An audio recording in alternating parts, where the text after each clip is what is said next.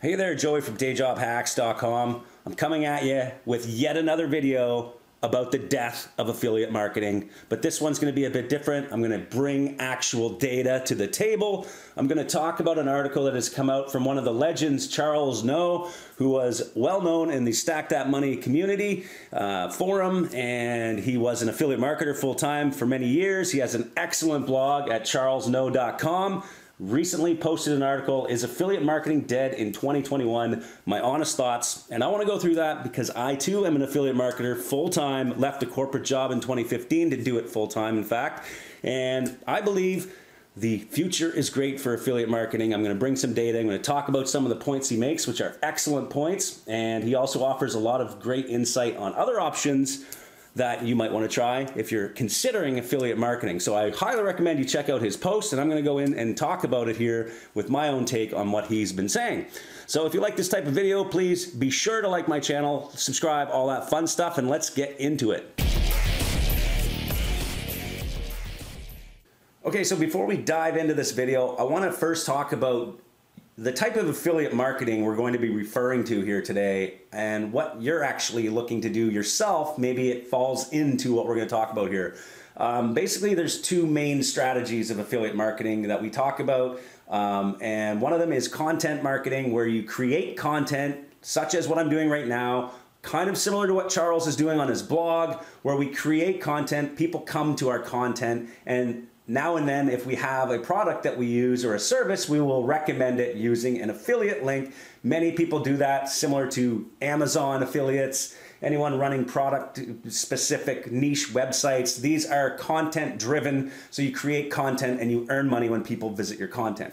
That type of affiliate marketing is pretty much never going to die, okay? As long as you create real good content online and you talk to your audience and you feed them information they want they will always come back and look at your content, okay? Or they'll find it in the search engines or people will share it. And that is just never going to die, okay? In fact, there's statistics showing that more and more people are online, more searches, everything is going up, okay? Now, what Charles is more referring to on his blog post here is the other side of affiliate marketing, what you see in most forums, the paid traffic side of it, where we're creating funnels, we're creating campaigns around app installs or lead generation campaigns. We're trying to sell an e-com product that's an affiliate product, um, not your typical content stuff. We're talking about buying traffic, sending it to a landing page, and going for the direct sale or the direct lead, and we're trying to make money instantly. Okay.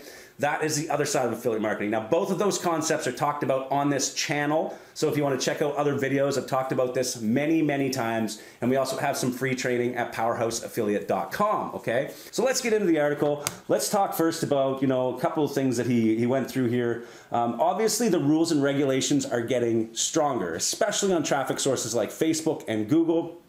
As an affiliate, you must follow the rules. In fact, you almost have to now make it look like you are not an affiliate. That is why 90% of people will probably fail at this side of affiliate marketing because there's so many things you have to be doing. So that is one thing. He's, he's completely right. The rules and regulations have gotten stronger. Competition is fierce, but um, at the same time, I'm going to argue that the cost per click has not drastically gone up. The cost per click on Facebook is actually pretty much stable for the last year for me. Google has been stable for three to five years. There's just so many other traffic sources coming up that even though there's tons of competition, we have TikTok, we have Pinterest, we have Snap ads, we have uh, all the native ad platforms. So Facebook might be the be, be all end all for some people, but a lot of people are looking for alternatives. I've done a complete video on Facebook alternatives. There's tons of traffic out there, okay? So really, although the competition is high, that is not a, a deciding factor for me to, to move on to other things because really, no matter what you're doing online, there's gonna be competition to get those clicks, whether you own a product or you're an affiliate. Another thing that he mentioned here is that affiliate networks have been quietly going out of business business. Now, this is truly a fact. There's tons of major networks over the years that have collapsed. In fact, for a decade straight, at least one or two major CPA networks. So these are the networks that house offers like lead submits, your CPA cost per action performance marketing network. They come in, they're they're massive networks. So these aren't just your little uh, you know one man pony shows that you see where some guy decides to create a network because he was a great affiliate and he has a few people that want to follow him. Um, these are major networks that have collapsed. Now there's many reasons for this, and I'm not going to try and get into the reasons why many of them collapsed, but I'm going to talk mainly about the FTC and the way affiliates are promoting products. Okay, now big networks went down hard when the trial space was going on. We had diet trials, people going on with celebrities on these major news platforms, putting up images of major celebrities losing weight with these pills that actually weren't endorsed at all by these celebs. So some networks got sued, some went out of business, some didn't get paid by the advertisers.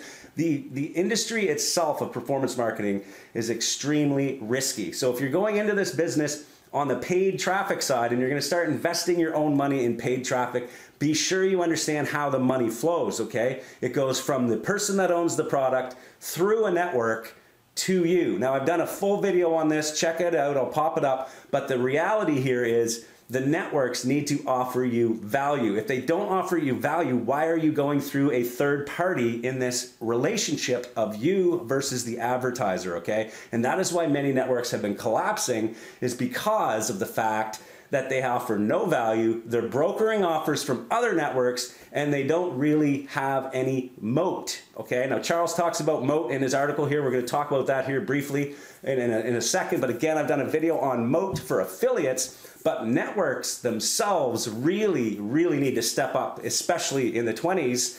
The 20s, that sounds so weird saying the 20s.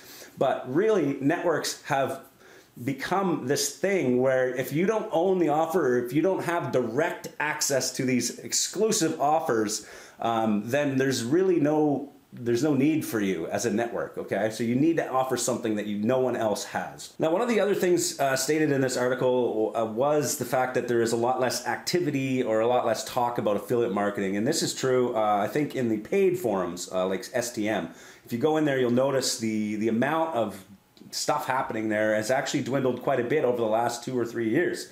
Um, I don't think this indicates that affiliate marketing is, is dropping by any means. If you, if you actually look at some of the data from uh, Statista.com, if you go there, check it out, you'll see that um, in 2022, it's expected that eight, uh, in the US alone, over 8.2 billion spent on affiliate marketing. This is 10 uh, or three times more than it was 10 years ago. So it's only going up. The charts are going up. Um, so I, I, think we can't really measure the, the impact of affiliate marketing based on the amount of activity we're seeing in paid traffic forums, okay? Um, globally, in 2017, there was 13 billion in spent on affiliate marketing, okay? And of course, that number is going up every single year. Uh, that was the latest data I found um, looking at some of the, uh, the data online through places like Statista.com, okay? Okay, so moving down in the article, we talk about the rise of e-commerce, and he's very clear that e-commerce is taking over, and I agree. A lot of people that I know personally are in fact moving to the e-commerce model where you build a product like a Shopify store and you start branding and building your own brand. Okay, this is excellent for people that want to build an asset online. You're building uh, something that you own and you can sell and you own the data. I've talked about that in uh, another video. In fact, I'll pop it up where you own the data and you own and you build an asset. Okay. This is great for people that are motivated and want to go out and just start building a business. But in reality, if you don't understand traffic and you don't know how to get traffic, then starting out building this empire of a store and then trying to buy traffic or get people to come to your store after the fact without actually testing first with affiliate marketing, then you're setting yourself up for a big waste of time, okay? That is why affiliate marketing, many people start with affiliate marketing and then they move on to the bigger and better things like owning your own business where you own all of the data and all of that kind of thing.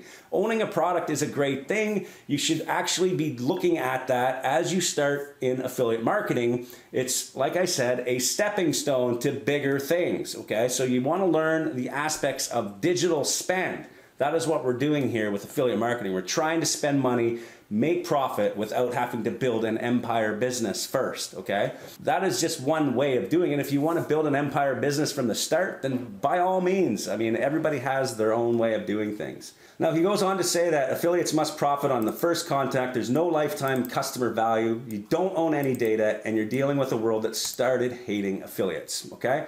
So, really, uh, this can be, there's a lot of things you can do here that can help. Obviously, list building is one of them. In, in fact, in one of his courses that he sells, um, he talks about list building, building the a list first using Facebook ads. This was one of his training courses where you build a list, you own the actual emails, and then you start sending emails to these people in the back end doing more aggressive advertising. Now, we've done a full case study on this, by the way, inside powerhouseaffiliate.com where we've done the exact same strategy. And yes, in fact, it works. You own the data. You can build a mini funnel. Your uh, you know, to get people into your affiliate funnel and then you're selling products on the back end. So you can do this, but really um, there are more advantages if you own the entire funnel right to the checkout page.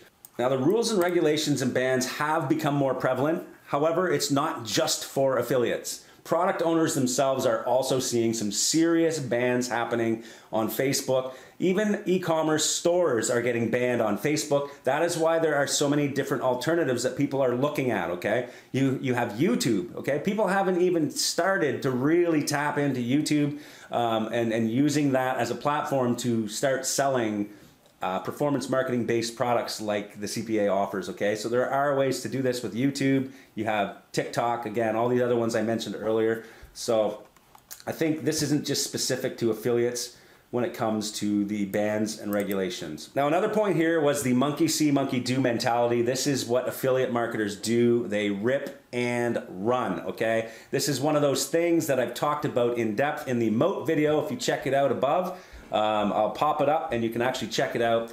Talked about this subject. What we're doing here is we're trying to come up with our own moat as affiliates, okay? Whether it means creating a ton of great content, building your own list, building your data sets, whatever it is, you cannot just start and think that you can rip somebody's landing page, start running traffic to it, and start making a ton of money. That is not going to happen. Pretty much 99% of you that try that are going to fail. There are so many other factors at play. There's so many other split tests going on and behind the scenes for professional affiliate marketers, okay? So if you're going to try and come in and rip somebody's pages, it's just not going to work. Now, if you find an affiliate campaign that actually works and you're converting and you're scared about the other uh, factors at play where people are going to be ripping and running and looking at your stuff, then maybe perhaps consider building your own product line and selling your own products. I've actually done this myself with affiliate products that I've ran in the past, okay? And it works. It takes a ton of work though. So if you want to do all that work and try and, you know, solidify your business that way, then then obviously that is a great way to go and you can sell it later, which in fact I did myself. I sold that business later on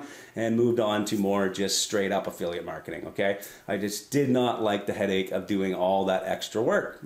So there are many alternatives out there, and I think that he gives some excellent alternatives here. Uh, Bitcoin is obviously skyrocketing. The stock market is a way to you can you know obviously look into investing in stocks, creating an app. All of these things are excellent ideas. I'm not gonna you know go on and on about these. Um, obviously, there are tons of alternatives out there. That's what makes the question of is affiliate marketing right for me so difficult because there are so many alternatives out there. The exit value is a very good point here. You will have nothing if you're just trying to sell an affiliate campaign. I've talked about that before. If you're trying to sell somebody an affiliate campaign, you will not get any money for it uh, because nobody cares. They unless you have an email list, a bunch of data, um, then that's all you can sell as an affiliate, okay? Unless you have a website that has a ton of traffic coming to it and you've built content over the years and nobody wants to spend all that time uh, building all that content around this product or service, then you have something to sell, okay? That is why content marketing is the way to go, especially uh, if you're going to be doing this long term, uh, I think, okay, if you want to get in and try and make a ton of fast money, then obviously the paid traffic media buying strategy is the way to go as well. But really, you should consider content marketing if you're looking to buy to build something that you can sell later. Okay. Um, so yeah, if you're starting out, it's very easy to get sucked into these training courses that uh, people are selling that have nothing to do with how you actually buy traffic online as an affiliate. So without rambling on too much more about this, um, I really think uh, you need to look at this from both sides. Understand first, what type of affiliate marketing do you want to do? If it's content marketing, it's never going to die, okay? Um, and if it's paid traffic, it's never going to die either, but it's going to require a lot more effort in keeping up with the times, understanding how rules are changing.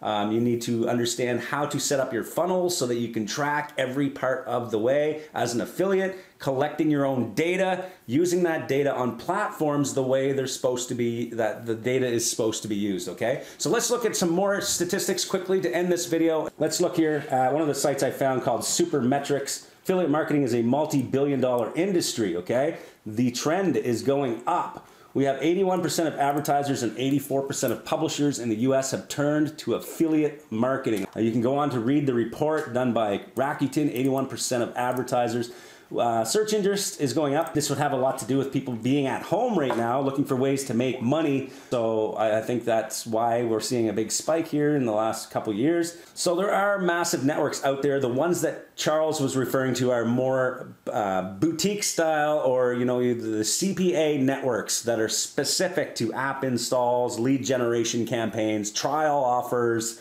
e-commerce offers. All of these networks out there that you know you sometimes see every year since I began. You're going to see two or three major platforms go under. Okay, and that is more to do with the mechanics of how the money is being flowed through that system. 85% uh, of online shoppers check Google. I run Google ads still as an affiliate marketer. I've done a complete training on Google ads, okay, inside Powerhouse Affiliate. So you can see exactly how I do that as an affiliate. It's one great traffic source that is an alternative to Facebook. Now, again, there's tons of rules on Google that you need to follow. These are the types of offers that people are promoting as affiliates.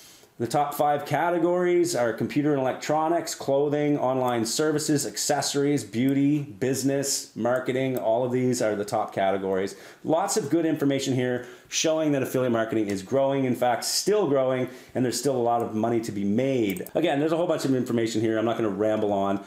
But you can see here, if you do some more research on the statistics, you'll see that affiliate marketing is in fact growing. There is a lot of money to be made. You just have to understand which direction you want to go.